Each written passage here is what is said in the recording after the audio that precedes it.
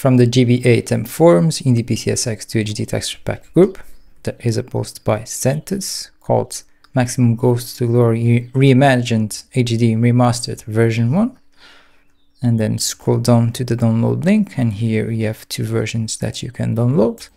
The first one is a PNG version, more quality, less performance, and the second one is a DDS version, less quality, more performance. If you have a low-end PC, this is for you.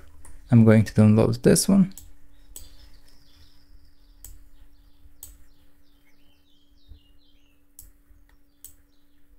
After the download is complete, go to your documents, PCSX2 textures, then go inside of the zip file that we downloaded, or the textures zip file or archive file that we downloaded. Go inside of this folder and then move this folder to the textures folder. Now go to PCSX2, search for your game or for the game in this case, then right click on top of the game and go to properties.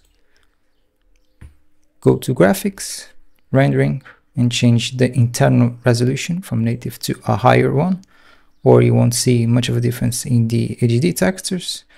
Then go to the texture replacement tab and turn on load textures and you can also turn on asynchronous texture loading.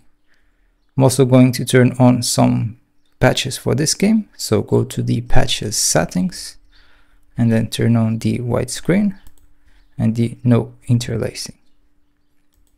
Now load the game and the HD texture should be working correctly.